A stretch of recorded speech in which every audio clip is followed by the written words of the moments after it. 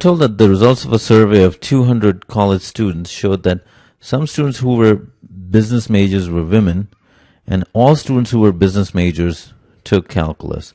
Which of the following is a valid conclusion? So I like to draw this out uh, visually. So 200 college students, uh, so showed that some students who were business majors were women. So let's say this is business, non-business. We'll see if this demarcation is important. Um, and some students who were business majors were women. So women, men.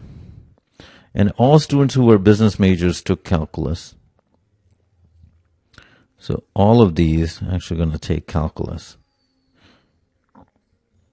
Questions. Which of the following is a valid conclusion from the survey? So we'll go through all the choices here. All students who were women took calculus. No, because there's going to be women here, men here. Because this would imply that all who were women took calculus, but this category didn't. Some students who were women, some students who were women took calculus. Yeah, that one is good. And some students who were women did not take calculus. Some students who were women did not take calculus. So what we don't know is uh, what we know is all students who were business majors took calculus, but it's possible that all non-business majors also took calculus. So we can't do that.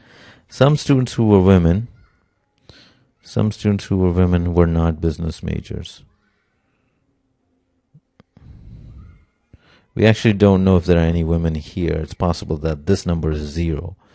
Um, so this we can't. So we're really left with this one. We know that some students who were women took calculus because this could be zero. So the answer is uh, B.